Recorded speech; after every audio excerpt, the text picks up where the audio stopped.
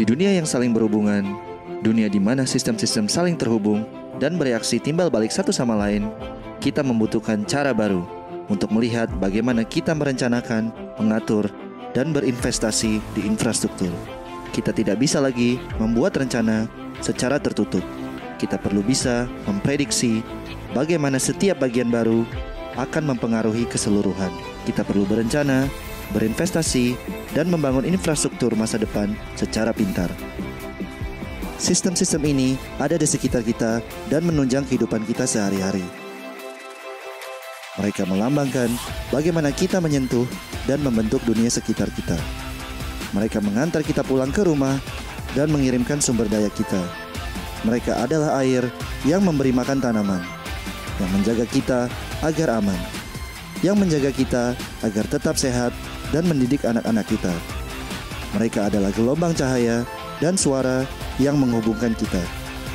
Infrastruktur yang harmonis memakan biaya yang lebih sedikit, akan membuat hidup kita lebih baik, mengamankan masa depan kita. Masyarakat kita berubah dengan cepat seakan kita bertumbuh, berkembangnya teknologi, dan beradaptasi dengan perubahan lingkungan. Bagaimana caranya kita bisa memenuhi kebutuhan populasi yang meningkat dengan sumber daya yang berkurang serta meningkatkan standar hidup?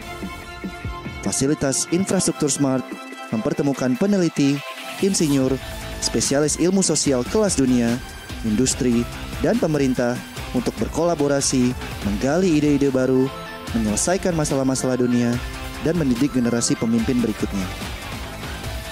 Inti penelitian kami adalah hubungan dan ketergantungan antara jaringan infrastruktur yang penting. Kami berusaha benar-benar mengerti efek umpan balik sosial dan pengaruhnya. Smart mengubah data mentah dalam jumlah yang besar ke alat-alat visual yang berguna dalam perencanaan desain, memberdayakan analis, perencana, dan pengambil keputusan untuk mengembangkan wawasan baru ke dalam masalah-masalah tata ruang, teknis, sosial, dan ekonomi yang berhubungan dengan pembangunan urban dan regional. Sekarang kami bisa menanyakan pertanyaan-pertanyaan yang sebelumnya tidak bisa ditanyakan dengan menggunakan agent-based modeling yang revolusioner dan teknologi populasi buatan, kita dapat mengerti bagaimana sebuah bagian baru infrastruktur, ide, atau kebijakan bisa mempengaruhi kehidupan kita ke arah yang lebih baik.